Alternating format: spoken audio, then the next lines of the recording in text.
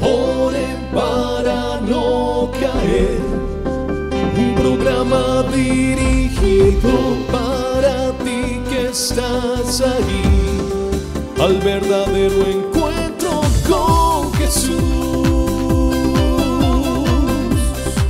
Estén siempre alegres, oren sin cesar, den gracias a Dios en todas las situaciones.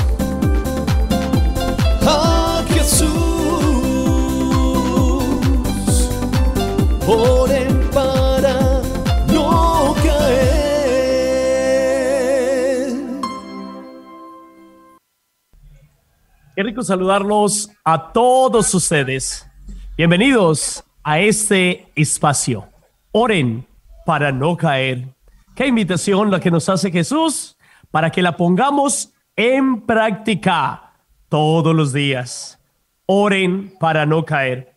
Justo hoy vamos a tocar un tema que sé que va a tocar sus corazones, sus vidas. Tenemos un testimonio muy bonito, pero también muy basado en nuestra fe y guiado por el proceso de la oración. Oren para no caer. Así que los invito para que nos dispongamos allí de sus casas, sus familias, donde se encuentran en estos momentos. Vamos a pedirle la presencia y la luz del Espíritu Santo, diciendo todos juntos, en el nombre del Padre y del Hijo y del Espíritu Santo. Amén. Digan conmigo todos, Señor Jesús, en este momento me pongo ante tu presencia. Te pido que seas tú quien me guíes, me acompañes, me protejas, que abras mi mente y mi corazón para comprender tu palabra. Envía sobre mí y mi familia la luz de tu Espíritu Santo. Ayúdanos a ser tus servidores y que busquemos los caminos de santidad que nos conducen hasta ti. Bendícenos y protégenos. Gloria al Padre, gloria al Hijo y gloria al Espíritu Santo, como era en el principio, Ahora y ahora y siempre. siempre, por los siglos de los siglos. Amén. Quiero invitarlos en estos momentos para que cada uno de ustedes en este instante escuchen esta palabra del Evangelio de San Mateo. Mira lo que nos dice. En aquel tiempo, Jesús dijo a sus discípulos, no todo el que me diga, Señor, Señor, entrará en el reino de los cielos, sino el que cumpla la voluntad de mi Padre que está en los cielos. El que escucha estas palabras mías y las pone en práctica, se parece a un hombre prudente que edifica su casa sobre la roca. Palabra del Señor. Gloria a ti, Señor Jesús. Pues bien, qué hermoso este texto del Evangelio de San Mateo.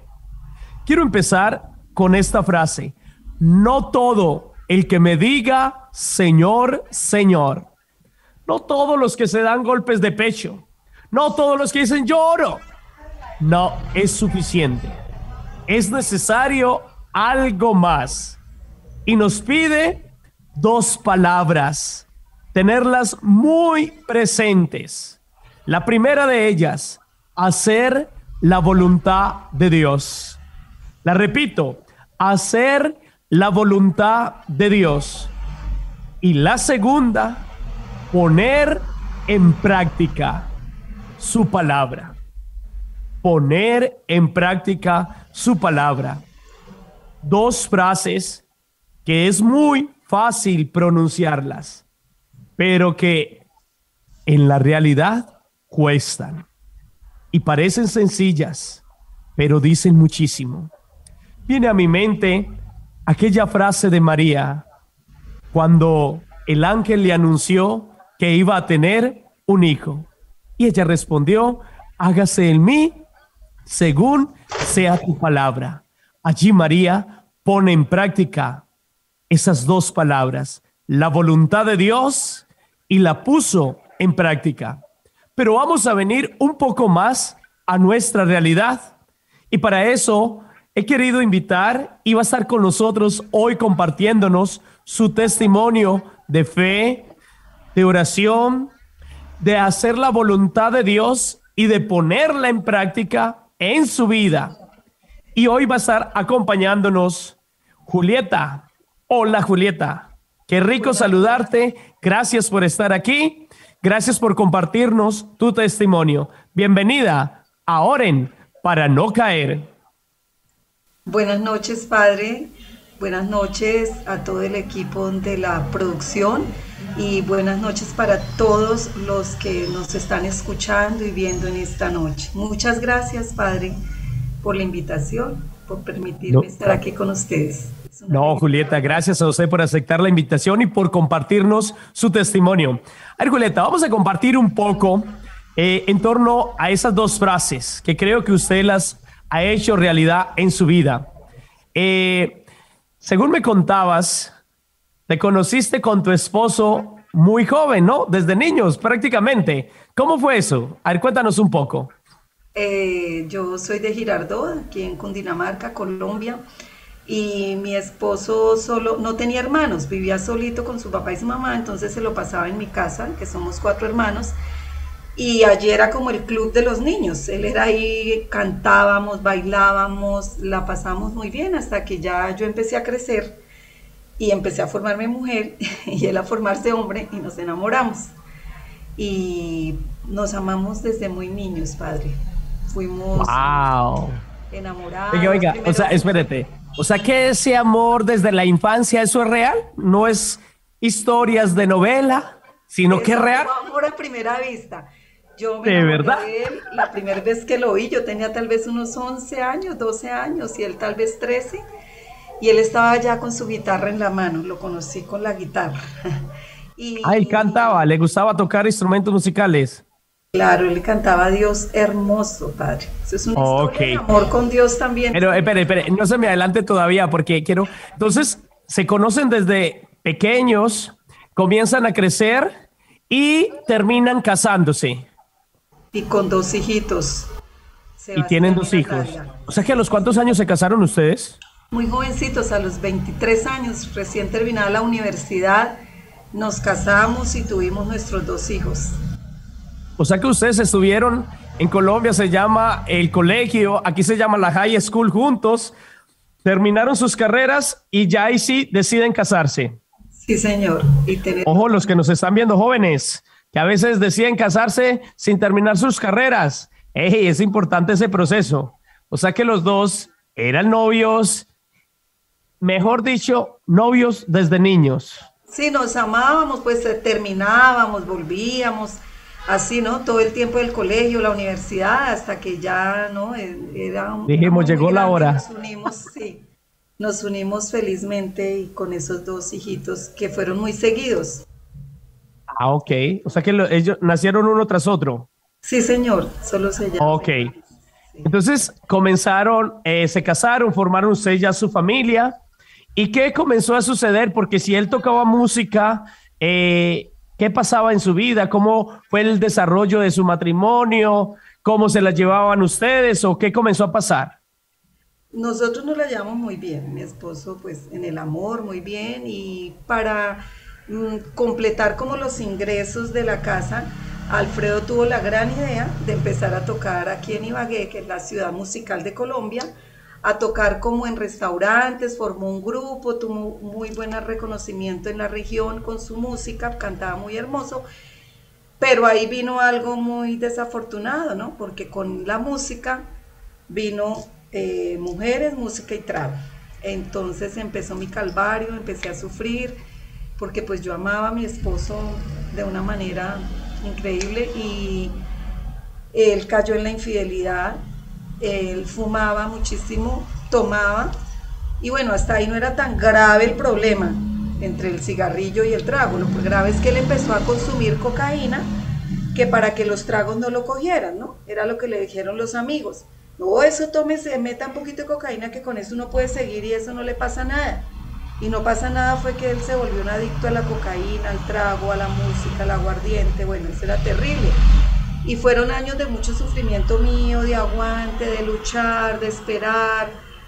pero nosotros muy alejados del Señor, a pesar de que yo crecí, por ejemplo, en un colegio de monjas, una familia católica de obligación, yo no era evangelizada, yo no conocía al Señor, a pesar de que estudié con monjas y Luis Alfredo menos, nosotros nos sentíamos libres, nos sentíamos felices y creíamos que habíamos cogido el cielo con las manos porque éramos profesionales y teníamos trabajo. Entonces caer en una situación de esas del hogar. Eh, Julieta, perdóname que te interrumpa ahí, porque justo es el texto del Evangelio de este momento. No solo el que me diga Señor, Señor.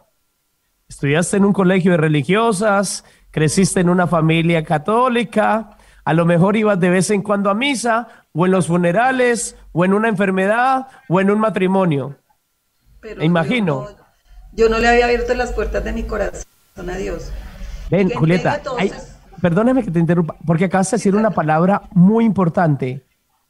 Conocía, pero no había sido evangelizada. No, no le había abierto la puerta de mi corazón a Dios. Nadie me había dicho a mí como de frente, es que Jesús te ama a ti de manera personal. No. Y yo empecé con todos los problemas y sentía un vacío en mi corazón, pero yo literal sentía un vacío aquí en mi pecho que era un hueco que yo sentía, yo decía, pero ¿qué es lo que a mí me falta? ¿Qué es lo que pasa? ¿Qué es lo que yo, lo que sucede? Bueno, y a raíz de los problemas con Luis Alfredo, eh, ahí sí empecé a buscar al Señor, ¿no? Ese Dios bombero que a veces tenemos, ese Dios que lo buscamos para que nos apague el incendio. Yo resulté yendo a un grupo de oración y, bueno, en ese grupo... Espérame, espérame. Usted utilizó una palabra, el Dios bombero. Yo a veces le digo el, el Dios, eh, para entenderlo aquí, un ATM, es decir, un cajero automático, que solo voy cuando lo necesito. Y cuidado porque hay muchos, muchos de esos que solo buscan a Dios cuando lo necesito. De resto, y vuelva la frase, no solo el que me diga, Señor, Señor. Y entonces, ¿qué pasó ahí, Julieta? Contá porque esto me está empezando a motivar. Yo fui a un grupo oración, era un grupo muy pequeño, pero tenían la iniciativa que hacer un concierto que para llamar a los jóvenes y traer de Bogotá, aquí en Ibagué era eso, eh, traer de Bogotá un grupo musical de jóvenes que estaba en furor en Bogotá, el grupo Kairos y entonces, cuando yo llegué a ese grupo, eran cinco personas que organizando un concierto. Y mi esposo era publicista, músico y había vivido, vivía mucho en ese medio, ¿no? De los conciertos, pero pues para el mundo. Entonces empezaron a preguntar que quién nos ayuda en las emisoras para ir a promocionar. Yo dije, pues Luis Alfredo es amigo de todos los de las emisoras de Ibagué, yo le pido el favor a él. ¿Cómo hacemos para conseguir una tarima? Yo les dije, pues Luis Alfredo, mi esposo se relaciona con todo, él hace montajes de eventos, él puede que quien consigue un sonido, yo le puedo Luis Alfredo. Entonces yo resulté comprometiéndolo a él y luego em, que él hacía la cuña radial. Mi esposo era publicista, entonces le dieron unos cassettes, en esa época cassette, eso fue hace como 25, 27 años, 30 años, y le dieron esas... Pero estamos hablando del siglo pasado, hablemosle a los jóvenes, un cassette es... Ahí va la música grabada. Mi esposo una tarde puso el cassette para escuchar la música y bueno, a raíz de nuestros problemas, él ya había intentado dejar de, de, tomar alcohol, había intentado, intentaba. Y como para la misma época, un señor del grupo oración donde yo iba, que se llama Jesús Palabra Viva, al, al cual todavía existo, él le dijo, no, Luis Alfredo, otra vez usted no se puede separar de Julieta porque nosotros nos separábamos, íbamos, volvíamos en esos problemas, trago, licor, cigarrillo, infidelidades. Yo sufría mucho. Y él le dijo un día, no, Luis Alfredo, usted no se puede separar más de Julieta, usted no puede acabar con el hogar. Lo voy a llevar a una parte. Y ese señor lo llevó a donde un sacerdote aquí en Ibagué a que se confesara. Mi esposo fue y se confesó y llegó así fresco. Y yo, ¿cómo te fue? ¿Qué pasó? Entonces digo, no, me, confesé, le dije, ¿y tú fuiste capaz de decir todos tus pecados? Dijo, no, el Padre me ayudó. El sacerdote me ayudó, él me iba preguntando y a todos me tocó decirle que sí. Entonces, terrible, tenía muchísimos pecados, muchas cosas muy oscuras. espérame, Julieta, espérame, porque yo quiero resaltar esa parte, porque cuando aparecen los problemas, las dificultades, los momentos tensos, duros, fuertes, desafortunadamente, muchas parejas, lo primero que se les ocurre es, dígalo Julieta, ¿cuál es la frase? ¿Cuál es la frase, Julieta?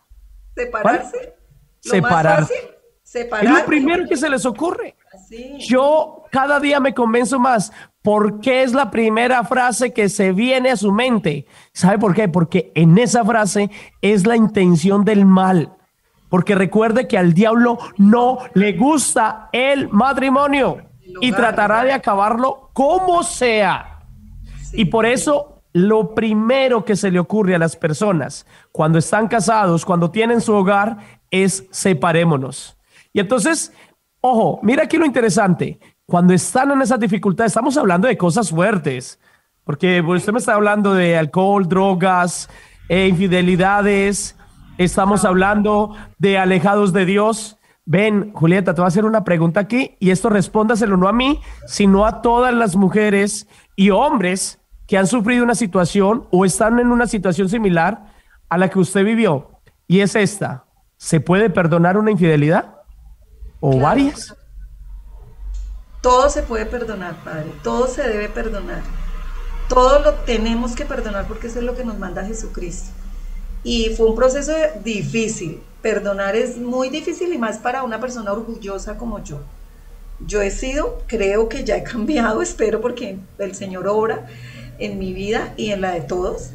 Pero en ese orgullo y vencer el orgullo, pero sí se puede perdonar y de efecto sí se perdona. Y mi esposo también buscó en ese momento el Dios bombero y él fue y se confesó como cosa ahí. El sacerdote en esa confesión le impuso manos y le y desde ese momento que mi esposo se confesó, él ni se dio cuenta que había recibido una sanación total a través de la confesión, que ese es otro testimonio. La confesión es sanación. A nosotros nos han vendido muchos cuentos y el mundo nos quiere engañar diciéndonos que cómo nos vamos a confesar con un sacerdote más pecador que nosotros. Precisamente en eso está, en que seamos humildes. Si es un hombre, yo no tengo por qué juzgar al sacerdote y allá él con su situación con Dios. Pero venga, venga Julieta, ya que tocaste ese tema, cuando a mí me dicen, es que el padre es más pecador que yo, yo, primero, ya me puso en un lugar peor que el suyo. Y segundo, es que a mí también me toca confesarme. Yo también me confieso. ¿Por qué? Porque soy pecador igual. para ir a lo mismo. De hecho, Juan lo dice. Sí, Juan lo dice. El que diga que no tiene pecado, ya cometió el primero por mentiroso. Todos somos pecadores, dice Juan. Así que yo también me confieso. Yo también tengo mi confesor, voy y lo hago. ¿Por qué? Porque es parte del proceso de mi vida. Y entonces, sigue, sigue ahí, Julieta. Bueno, él se confesó y al, tiempo como con eso que desde la confesión nunca más volvió a tomarse un trago de aguardiente cuando Alfredo tomaba casi que todos los días. Metía cocaína todos los fines de semana, fumaba, mujeres, nunca más. Desde esa confesión dijo, no, mira que a mí no me provoca ni tomarme un aguardiente, no, y él era creído porque él creía que era que él había podido dejar las cosas por su propia fuerza. Más adelante es que el Señor le revela que en esa confesión él recibió la sanación.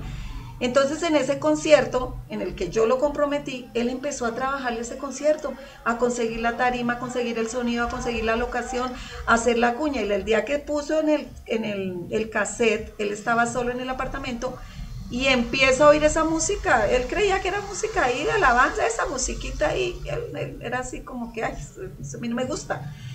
Y resulta que el Señor, pues como él es músico, ama la música, le tenía el don musical, el Señor lo coge a través de la música y apenas empieza a oír esas canciones del Señor, empieza ese hombre a llorar y llorar y llorar toda una tarde llorando. Y ahí, eso fue maravilloso, él dice, resulté arrodillado, él en su testimonio decía, resulté arrodillado frente a un equipo de sonido, adorando al Señor arrodillado, rostro en tierra, llorando así a mares, de un charco de lágrimas literal y el Señor lo tocó ese día y bueno, esa fue su conversión. En ese concierto resultó él cantando porque él dijo, sí, yo organizo, pero yo le voy a cantar a Dios y todos, pero sí, Alfredo, sí, yo le voy a cantar a Dios. Y ese día le cantó, montó unas canciones para el Señor, le cantó. Y delante de como mil, dos mil personas, no sé cuántas, él le prometió al Señor que su don musical nunca lo iba a utilizar nuevamente para cantarle a los hombres. Y que solo iba a utilizar su guitarra y su voz para cantarle a Dios. Y así lo hizo, Padre. Espérame, espérame, Julieta, ahí. porque yo quiero resaltar esta parte y que ojalá todos comprendan esto. Vuelvo a retomar el texto. No solo el que me diga Señor, Señor, sino el que lo, ah, perdón, haga su voluntad. Primera. Y segundo, ponerlo en práctica. Pero aquí viene algo muy interesante. Mira dónde inició todo. La esposa que fue a buscar a Dios en oración.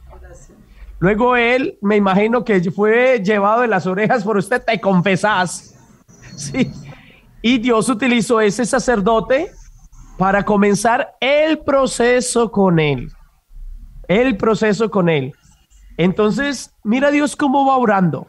Yo insisto, cuando dejamos que Dios entre a mi vida, cuando empezamos a hacer su voluntad, comienzan a cambiar cosas y caminos que usted ni se alcanza a imaginar. Y entonces allí comenzó una nueva historia. Ah. en ese concierto, sí, ¿qué pasó ahí? Maravillosa, mi esposo se unió a ese grupo de oración, empezó a montar un ministerio musical y los primeros que entraron fueron mis hijos. En ese momento mi hijo tenía 13 años y la niña 12 entonces la adolescencia de mis hijos fue con ese papá cantándole a Dios, los sacerdotes de los municipios, pueblos cercanos los invitaban, los llevaban. Eso fue una locura con el Señor. Fueron, bueno, económicamente veníamos con mucha dificultad porque claro, con esa vida de trago y todo, pero eso era una ebullición y una luna de miel y una locura con el Señor y mi esposo entregado al Señor más que yo. O sea, él me llevó ya después la delantera porque ese hombre era de confesión, de proclamar palabra, de cantarle al Señor y mis hijos tocando con él y otros jóvenes, porque eran como 15 jóvenes los que él dirigía cantándole al Señor. Wow, espérame ahí. Espérame ahí, porque Hugo está que se canta esa canción que justo ha preparado para este momento, porque después de eso, no se vayan a desconectar y denle like, compartan de una vez, porque estamos en el espacio de oren para no caer. Cómo Dios va orando en la vida, a veces de maneras y caminos que usted y yo ni siquiera pensamos. Vamos a escuchar esta canción y vamos a continuar con el testimonio de Julieta porque de aquí en adelante se nos pone bien tensa la situación. Así que vamos a escuchar esta canción que Hugo nos ha preparado. ¿Cómo le cantaré al Señor? ¿Cómo le cantaré? ¿Cómo le cantaré al Señor? Hombre de barro soy. Él está en los montes y en el mar. Él llena el silencio de la noche en calma y camina en la ciudad. ¿Cómo le cantaré al Señor? ¿Cómo le cantaré?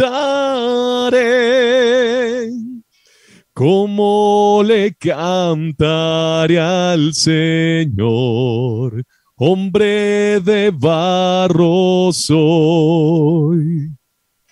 Cuando yo he caído en tentación, Dios mi Padre bueno, con su gran ternura, quiere darme su perdón. ¿Cómo le cantaré al Señor? ¿Cómo le cantaré? ¿Cómo le cantaré al Señor? Hombre de barro soy. Si yo le he fallado a Jesús y sus exigencias no las he cumplido, hoy arrepentido estoy. ¿Cómo le cantaré al Señor? ¿Cómo le cantaré? ¿Cómo le cantaré al Señor? Hombre de barro soy. Hay una gran fiesta del perdón cuando yo decido convertirme a Cristo, demostrando más amor. ¿Cómo le cantaré al Señor? ¿Cómo le cantaré? ¿Cómo le cantaré al Señor? Hombre de barro. ¿Cómo le cantaremos al Señor? ¿Cómo decirle, Señor, aquí estoy para hacer tu voluntad? cómo poner en práctica su palabra en nuestra vida y en nuestra realidad. Hoy que nos está compartiendo su testimonio, Julieta, nos damos cuenta cómo Dios va obrando y a veces obra por caminos y en situaciones que usted y yo no las comprendemos con la razón. Escuchamos la historia de Julieta, de cómo ella después de esa situación tan difícil con su esposo, ahora están en un momento muy especial de su vida, alabando, sirviendo, glorificando a Dios, poniendo en práctica su palabra. Julieta, y estaban en esa situación y en esos momentos, y usted feliz, su esposo dando testimonio. ¿Y qué sucedió en tu vida con tus hijos, con tu esposo? Cuéntanos un poco de esa parte. Julieta, no te escuchamos. Creo que necesitas quitar el mute. Eso, a ver. Ahora sí, ahora sí. Es que se la ventaja de estar en vivo en directo. El Señor es maravilloso, el Señor es maravilloso y siempre obra y siempre está con nosotros. Para la gloria de Dios, nosotros logramos darle a nuestros hijos carrera universitaria, siempre pegados del Señor, siempre en oración, siempre les sirviéndole al Señor y el Señor nos fortaleció, nos ayudó, nos sacó adelante, mis hijos muchachos de oración. Mi hijo se fue a estudiar, ya había terminado carrera, eh, ingeniería ambiental, mi niña también terminó carrera en Pereira. Y estando mi hijo, mi hijo buscaba como otro grupo oración allá en Pereira y al fin se ubicó ya como ingeniero, ya profesional de 32 años se ubicó con una comunidad que es denominada Llamas de María en Pereira, que son muy hermosos. Y él estaba haciendo la consagración a la Virgen María, hizo un retiro que hacen ellos de 24 horas sin probar bocado y es adorando la pasión de Cristo, lo hacen antes de Semana Santa. Él hizo ese retiro y dijo, no, ya me quedo en esta comunidad, encontré mi comunidad. Luego de eso empezó la consagración a la Virgen María y estando una noche en la consagración a la Virgen María, Sebastián convulsionó. Wow. Nosotros, mi esposo y yo estábamos en Eucaristía aquí en Ibagué sirviéndole a Maús. Estábamos en una Eucaristía de Maús porque mi esposo iba para retiro a servir en el retiro de Maús ese fin de semana. Nos fuimos a la misa cuando llegamos, las mil llamadas de nuestra hija que Sebastián había convulsionado en plena consagración. Pues todo ese mundo tan hermoso empezó como a derrumbarse. Pero no, el Señor siempre estuvo con nosotros. Siempre, siempre. Ahí a los ocho días, a los cuatro días. Espera, espérame, Julieta, para aclarar la palabra derrumbarse, para que muchos la comprendan. Derrumbarse significa comenzó una situación dura, difícil. Él se encontraba en otra ciudad. Para los que nos preguntan, eh, Pereira o esa zona es la zona del eje cafetero. Cuando nos dicen los cafeteros, esa es la zona principal de Colombia donde más café se produce. Y él estaba en esa ciudad. y comenzó una situación difícil de salud de él. Eh, sí, Sebastián se acaba de, le dijo a la Virgen que se le consagraba en castidad, que se le entregaba en castidad a ella cuando convulsionó, a los cuatro días le hicieron una resonancia, a los cuatro días supimos que efectivamente tenía una masa en el cerebro. Pero yo le dije a mi familia, a mi hija, a mi esposo y a mi hijo, le yo, pues esto lo vamos a vivir como lo que decimos que somos, precisamente por la palabra de hoy. No solo el que me dice Señor, Señor, no es solo cantamos y somos felices y amamos al Señor y le servimos.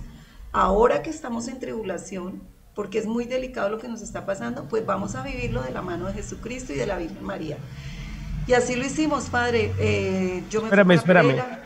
Espérame, Julieta, yo, perdóname que te interrumpa. Eso que acabaste de decir, las dos palabras justos de hoy, la voluntad de Dios y poner en práctica.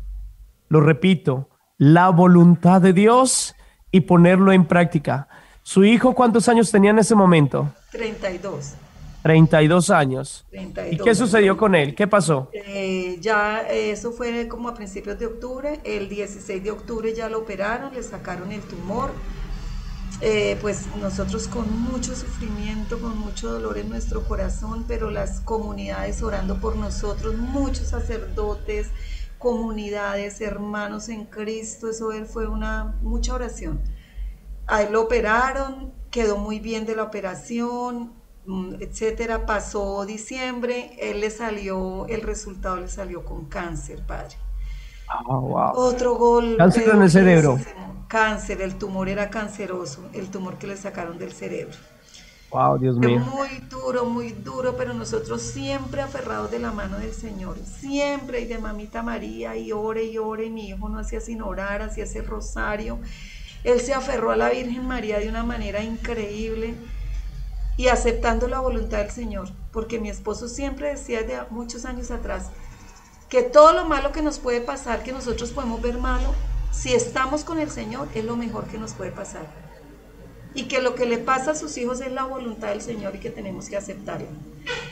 Eh, Sebastián empezaron el tratamiento para el cáncer en enero del siguiente año, eso fue en el 2016, del 2017 el médico le dijo que eso no iba a hacer nada, que iba a ser un tratamiento suave, que le iba a aplicar no sé qué, y la verdad pues no fue así. Tal vez era más lo que el médico deseaba que lo que realmente era.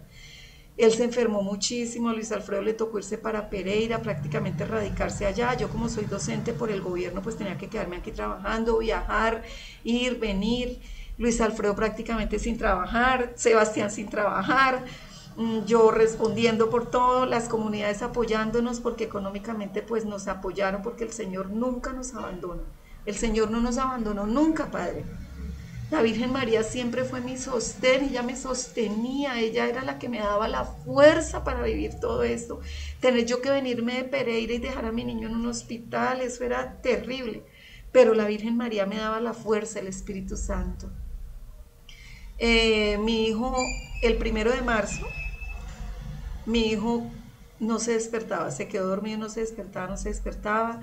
Nos tocó llevárnoslo otra vez para urgencias. Yo me fui para Pereira, urgencias, otra vez resonancia magnética. Tenía otra vez el tumor, ya se le había reproducido nuevamente en el mismo lugar otro tumor. Ay, era terrible, Padre, pero todo lo vimos de la mano del Señor. El Señor nunca me abandonó, Padre. Nunca, nunca. Miren, yo les digo, no dejen de orar así la noche sea lo más oscuro que podamos estar viviendo, Papito Dios no nos abandona y la Virgen María tampoco. Esa noche fue negra, tétrica. Y bueno, nos dijeron que tenía otra vez ese tumor. Cuando a Sebastián le dijeron que tenía otra vez el tumor, ese niño lloraba en ese hospital, gritaba. Y en ese momento yo estaba parada firme, Padre. Porque la palabra de Dios dice, párate firme con la armadura de Dios. Y yo me paré firme. Y yo no lloré. Y yo le decía, aquí está tu mamá, porque Luis Alfredo preciso venía viajando cuando le dieron la noticia, no estaba ahí presente en ese momento. Párate firme con la armadura de Dios, me enseñó a mí el Señor. Y eso hice yo, me paré firme con la armadura de Dios. En fin, a mi hijo volvieron y lo operaron en mayo, en mayo, en abril. Se me murió mi papá también de repente en ese mes. Otro golpe. A Sebastián me lo operaron como a los 20 días decirle a Sebastián que se le ha muerto su abuelito, no le dijimos ahí mismo, pero el niño también lloró mucho. Otro sufrimiento para mi hijo. Mi hijo se levantó de esa cirugía, empezó a retomar su empresa, empezó y nosotros dijimos, el Señor lo sanó. Y Luis Alfredo decía, es que yo sé que mi hijo es un milagro de Dios, yo sé que mi hijo está sano. Eso fue en mayo, junio. En junio mi hijo viajó a Bogotá a verse con un primo, con un sobrino mío Y nos fuimos para Girardot, porque yo soy, para, soy de Girardot, mi mamá estaba en Girardot. Y Sebastián, Alfredo y yo estamos en Girardot, que es otra población aquí cerquita de tierra muy caliente, a orillas del eh, Venga, le cuento a los que no han escuchado hablar de Girardot. Girardot es la diócesis donde yo me ordené como sacerdote. Así que la conozco bien. Ah, eso, padre. Pero, pero ven, vuelvo a retomar esta frase porque yo sé que lo que vas a decir a continuación va a ser muy fuerte para muchos. Tu hijo enfermo, de 32 años, todo ese proceso, esa situación, ahora fallece tu papá, es decir, el abuelo de tu hijo, y están en esa situación dura. Yo creo que una de las frases que usted los levantaba es, hágase tu voluntad. Tu voluntad. Poner en práctica lo que tú nos has dicho, Señor hágase tu voluntad. Y estaban en ese proceso, ¿qué pasó? En Girardot, estando en Girardot, nosotros pues vivíamos atentos a Sebastián, atendiendo lo que le provocaba comer, ayudándolo. Y esa noche eh, Alfredo sintió un dolor muy fuerte en la boca del estómago. Y yo, ay, ahora se me enfermó Alfredo, Dios mío, eso es como una, como la vesícula. Yo le di unas pastas para el dolor, un calmante, dos calmantes. Yo con eso te pasa, a ver, y mañana toca pedir cita médica, nos vamos para Ibagué, ¿verdad? Siguió con el dolor esa noche. No, no, no, y él no podía, empezó a sudar y se puso frío y a sudar. Entonces Sebastián ya se había acostado, eran como las 11 de la noche. Yo le dije, me voy para el hospital con tu papá porque está muy malo, tiene un dolor en la boca, el estómago terrible. Yo me voy para el hospital, que es ahí cerca a mi casa, en Girardot. Ay, Cuando llegamos allá al hospital, de un momento Alfredo le dio un infarto. Ay, padre, esa noche yo estaba sola en el hospital con él, vivíamos pendientes de mi hijo, y a Luis Alfredo le dio un infarto, quedó en coma, tener que yo llegar a la casa a decirle a mi hijo, que, al que estábamos apoyando y sacando adelante, y convenciéndonos de que el Señor lo había sanado y de que mi hijo iba a salir adelante, a decirle que a su papá le había dado un, le había dado un un coma, sí, que había quedado en coma, que le había dado un infarto y que había quedado en coma. no, padre, otra noticia para mi hijo, ahora para mí, pero Dios estaba conmigo. Esa noche, yo hasta hace poco decía que esa noche me sentí sola. Y en oración el Señor me dijo, no señora, yo sí estaba con usted. Y sí, yo le dije al Señor, sí, Señor, yo nunca vuelvo a decir eso. Tú estabas conmigo porque nunca me soltaste de tu mano. Padre, ir a decirle a Sebastián, a mi mamá que también estaba viejita, que se le había muerto su esposo, que bueno, terrible, que Alfredo estaba en coma, que estaba grave. Yo convencí a Sebastián al otro día que se fuera para Pereira, donde él vivía, donde trabajaba, estaba retomando su empresa y que yo me encargaba de lo del papá. Él a regañadientes se fue y Alfredo no despertó del coma, me lo traje para Ibagué y a los cuatro días mi esposo murió. Ah.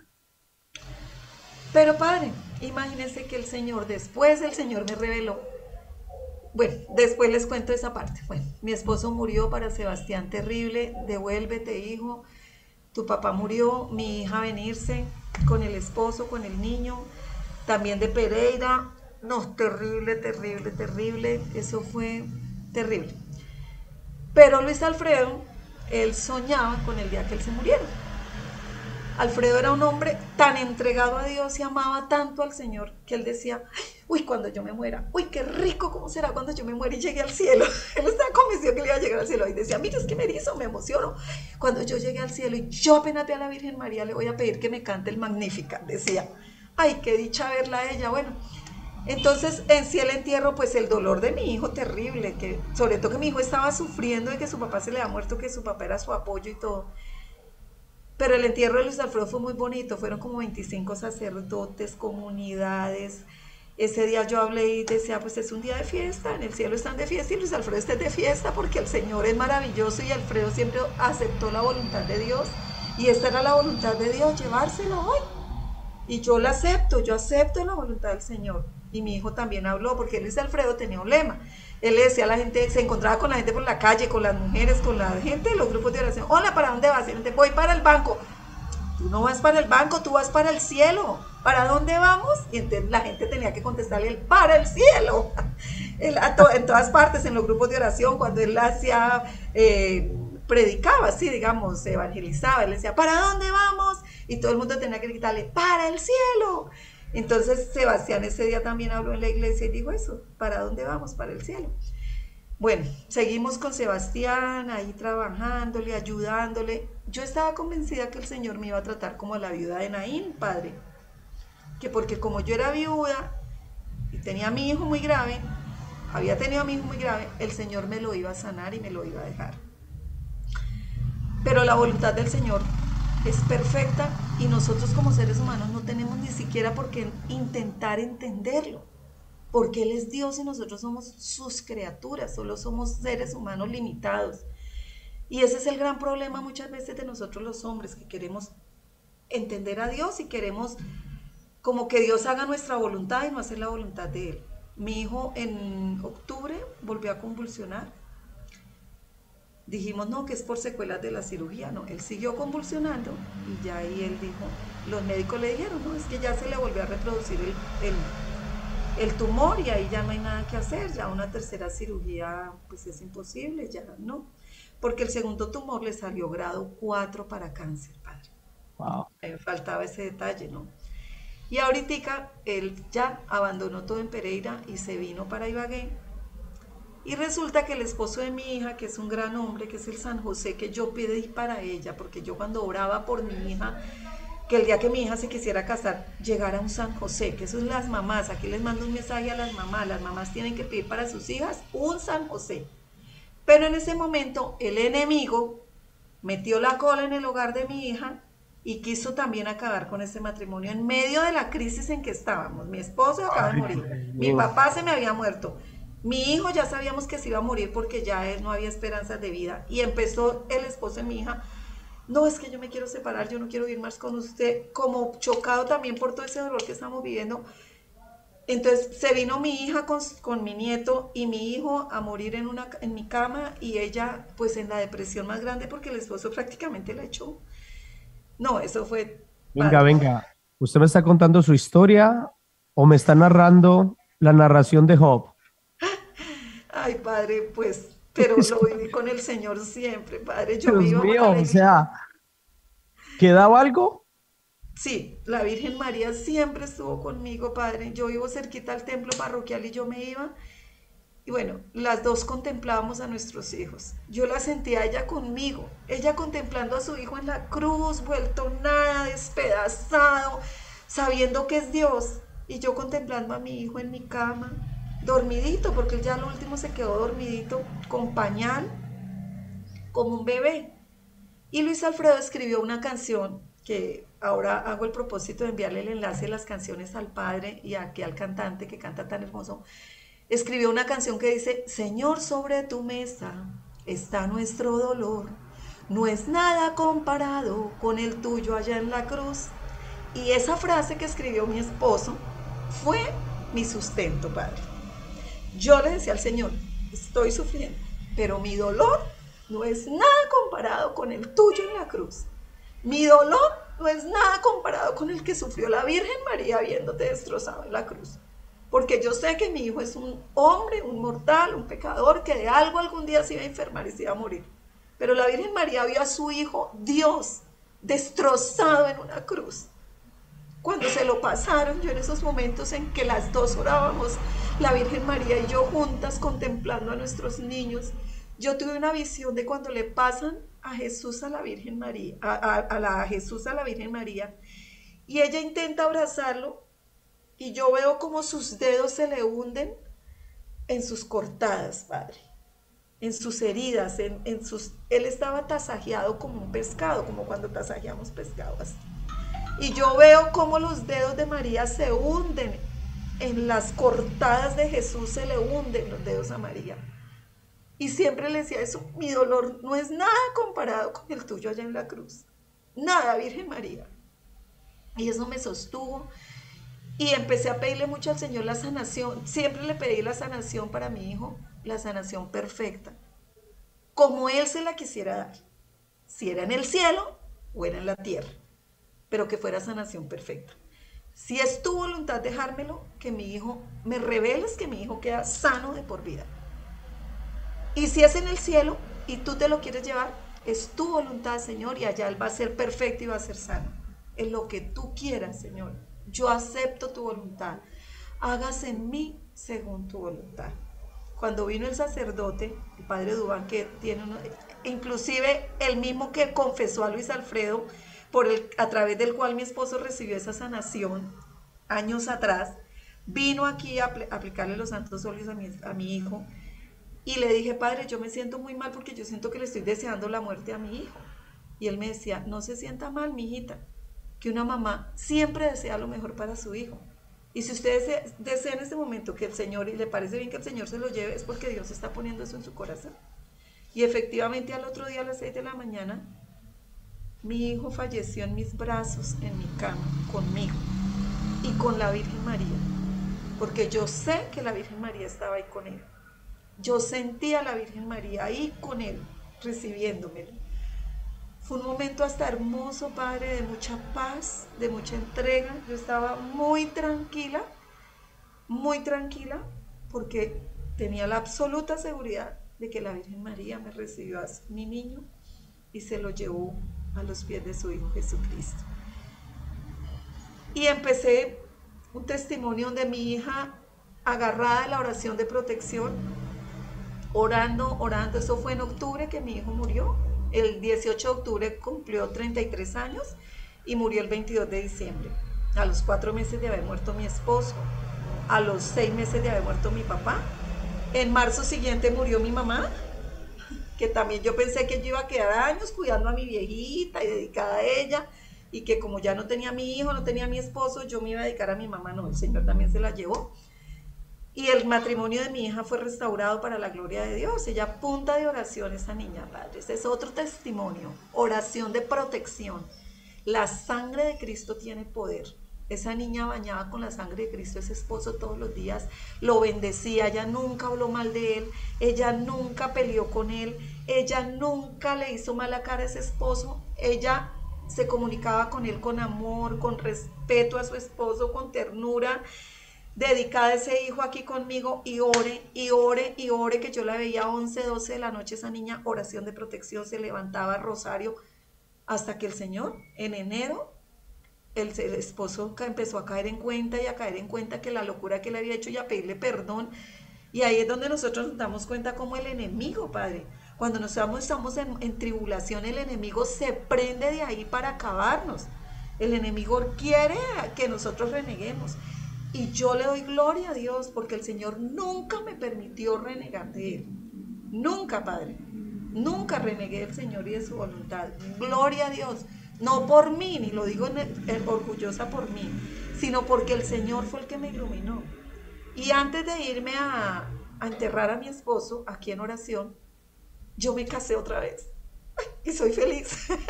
me casé con el Espíritu Santo ese día antes de ir a enterrar a mi esposo. Le dije, Espíritu Santo, y me caso contigo. Voy a enterrar a mi esposo y no quiero que ningún hombre se me arrime. Ni que me, se me arrime, ni nada, ni que me miren, ni nada. Yo me entrego a ti, Señor. Quiero ser, volver a ser pura, casta y virgen para ti. Y de hace cuatro años, pues vivo no, no ha sido así siempre, he vivido ese duelo. Espéreme, Julieta, no se me vaya tan lejos, tan rápido todavía, porque ya el tiempo se nos está acabando, pero quiero aquí resaltar las tres palabras que estamos diciendo. No solo basta decir Señor, Señor, sino hacer la voluntad del que está arriba, del que está en el cielo, del que todo lo puede. Si a mí me preguntan, ¿Y cómo se pone en práctica? Vas a escuchar la historia de Julieta. esa historia que uno dice, Dios mío, si la comparo con la historia de Job, creo que la estás narrando desde tu realidad. Pero Julieta acabó de decir una palabra muy importante. No dejar que el mal entre a hacerte dudar de la presencia de Dios en tu vida.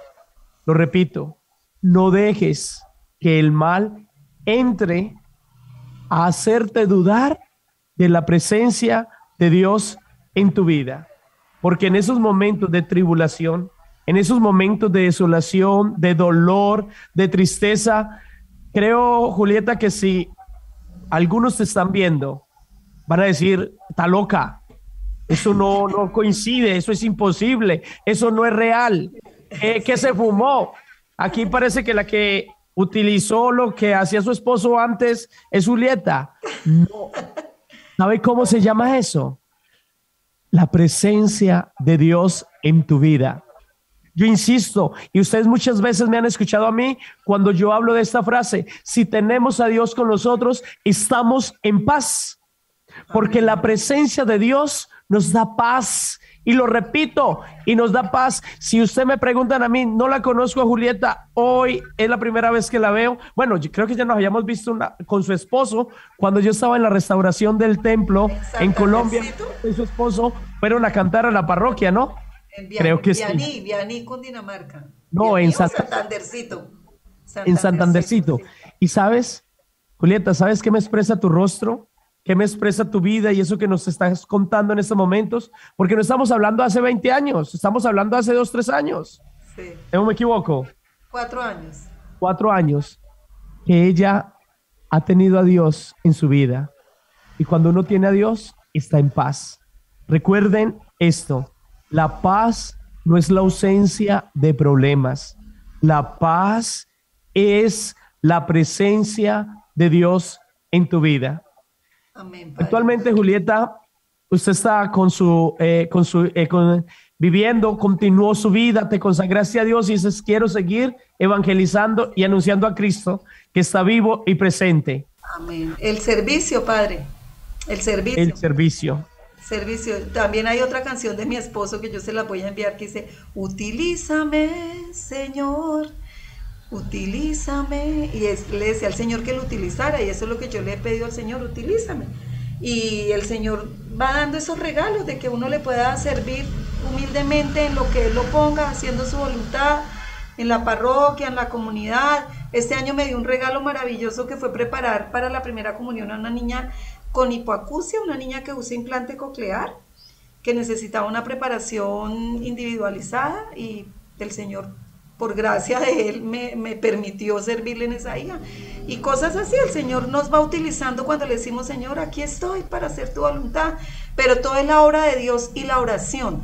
La palabra de Dios. Yo llegué en momentos de la, del duelo, porque en el duelo pues uno sube y baja.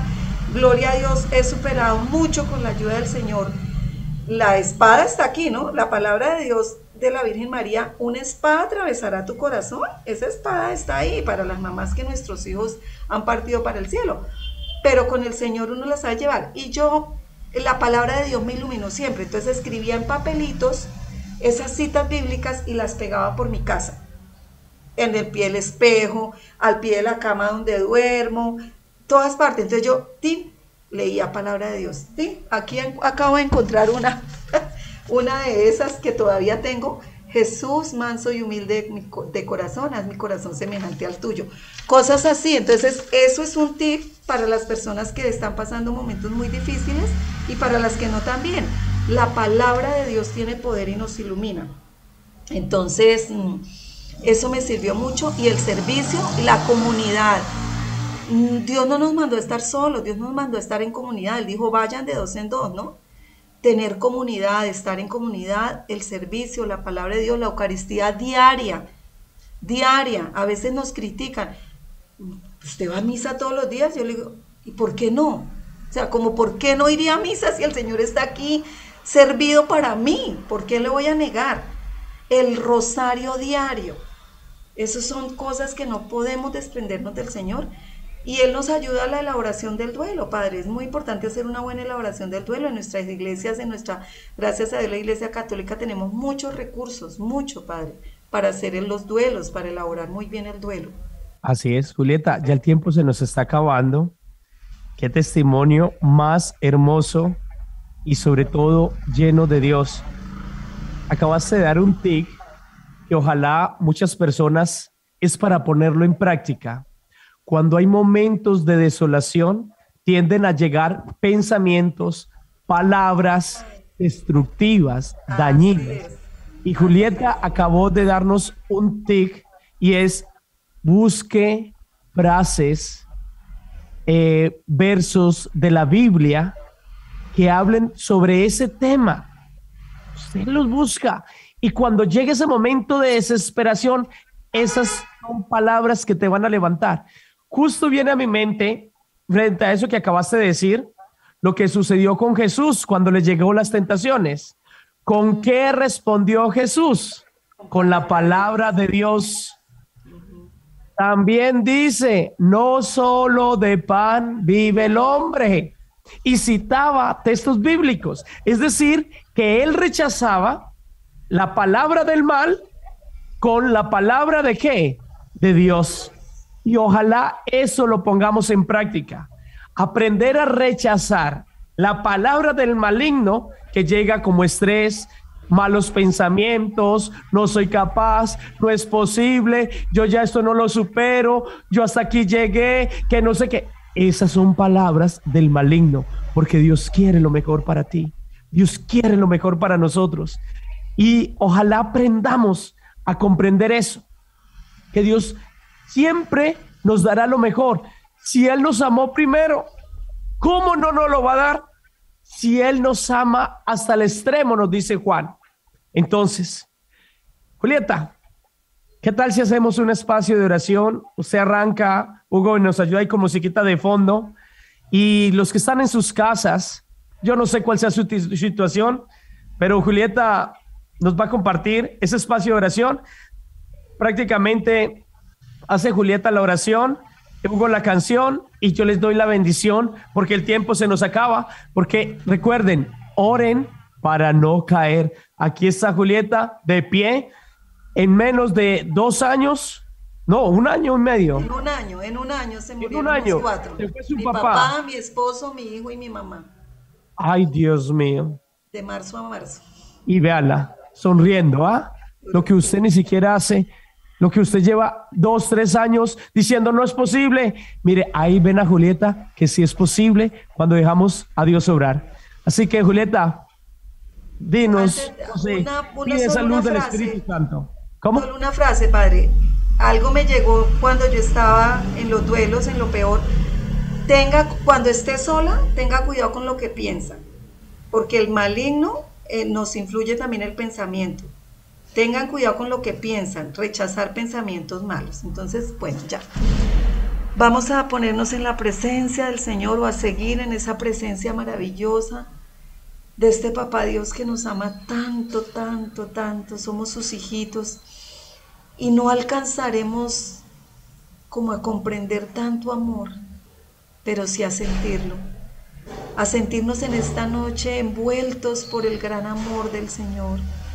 Sentir que esa misericordia nos llena, nos envuelve, nos abraza. Amado Señor, en esta noche estamos felices, estamos alegres, tú eres grande, tú eres poderoso, tú te glorificas en nuestra vida, Señor. Tenemos que abrir nuestra boca para decirte gracias, gracias, Señor. Gracias por los medios de comunicación. Gracias, Señor, por esta, toda esta tecnología, Señor. Gracias, Señor, porque tú nos mueves, Señor, a poner toda esta tecnología, todos estos avances para tu servicio, Señor. Gracias, Señor, por cada palabra que nos permites pronunciar. Gracias por cada persona que va a escuchar este programa radial, Señor porque tú eres el que vas a tocar los corazones. No somos nosotros, Señor, no soy yo, Señor, yo no soy nadie, eres tú, Señor. Tú que tienes el poder y la gloria, Señor. Tú que nos tienes tatuados en tu mano, Señor, porque tú lo dijiste, te tengo tatuada en mi mano. Tú eres la niña de mis ojos, Señor. Eso somos para ti, cada uno de nosotros. Tu hijito consentido, tu hijita consentida. Así tenemos que sentirnos felices, agradecidos, Señor, de tener ese papito Dios que nos ama tanto, que dio a su Hijo único por nosotros, ese Hijo que derramó hasta la última gota de su sangre para el perdón de mis pecados. Él pagó por tus pecados, hermanos, en esa cruz. Fuera de eso nos da esa mamá maravillosa, esa mamita que nos amas tanto, mamita María. Nos proteges, nos cuidas.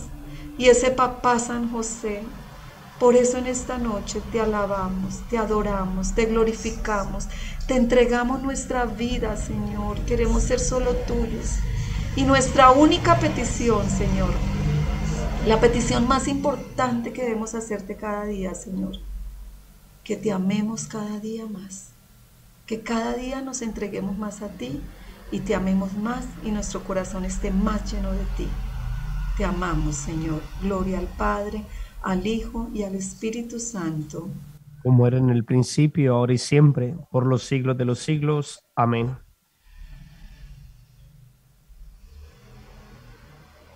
Esa canción que nos has preparado.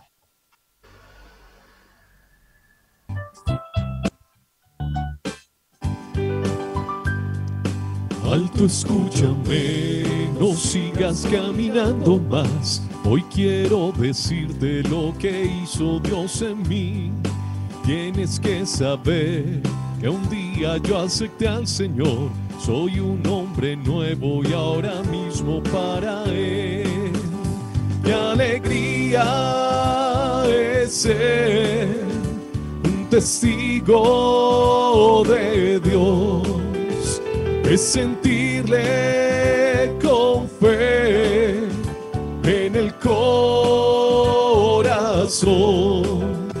Y aunque todos me digan que eso no es verdad, yo lo siento en mi vida aún más, mucho más. Dios te quiere a ti, eres importante para Él. Tienes que aceptarlo ahora mismo por la fe. Y aunque tengas dudas, Él después te las aclarará. Deja el conformismo de este mundo y síguele. Qué alegría es ser un testigo de Dios es sentirle con fe en el corazón. Y aunque todos me digan que eso no es verdad, yo lo siento en mi vida aún más, mucho más.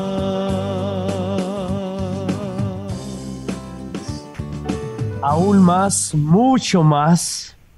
Gracias Señor por este espacio, gracias por este momento, gracias Padre por este testimonio que Julieta nos ha compartido. Gracias Señor por regalarnos la oportunidad de llegar a sus casas, a sus vidas. Hey, recuerden que no basta solo decir Señor, Señor, sino hacer su voluntad y poner en práctica su palabra. Aquí hemos tenido el testimonio de Julieta, cómo ella ha puesto en práctica esa voluntad de Dios. Doloroso, situaciones fuertes, duras, difíciles, pero si una frase que ella resaltó todo el tiempo, jamás dudó de la presencia de Dios. Siempre estuvo con él ahí y especialmente resalta la compañía de María, que la llevaba de la mano. Julieta, gracias por tu testimonio, gracias por estar con nosotros. No sé si quieras decir algo antes de cerrar este momento y de regalarle la bendición a todos. Pues que sigamos en oración, no desfallezcamos. El poder de la oración es infinito. Nosotros no sabemos el poder que tenemos en, en nuestras manos. No sabemos el poder y lo desperdiciamos. Y ese superpoder es el poder de la oración, porque el Señor escucha todas las oraciones. La única oración que Él no escucha es la oración que no hacemos. Oremos, oremos, oremos todo el tiempo. Y servicio, servirle al Señor, la Eucaristía y el Rosario, Padre. Eso es lo que quería decir. Gracias. Muchas gracias, Julieta. Gracias a Hugo, gracias a todo el equipo. Dios les bendiga y a todos ustedes por estar conectados comparta con sus familiares, dele like al YouTube, compártalo por Facebook, por diferentes canales y dígale, hey, estos espacios los necesitamos en nuestra vida. Demos a conocer cómo Dios obra en nuestras vidas. Oren para no caer. El Señor esté con todos ustedes. Y con su espíritu. Y la bendición de Dios Todopoderoso. Él los acompañe, los proteja y los cubra con su gracia. Todos, amén. Y Él los bendiga en el nombre del Padre y del Hijo y del Espíritu Santo. Amén. Oren para no caer. Dios te bendiga.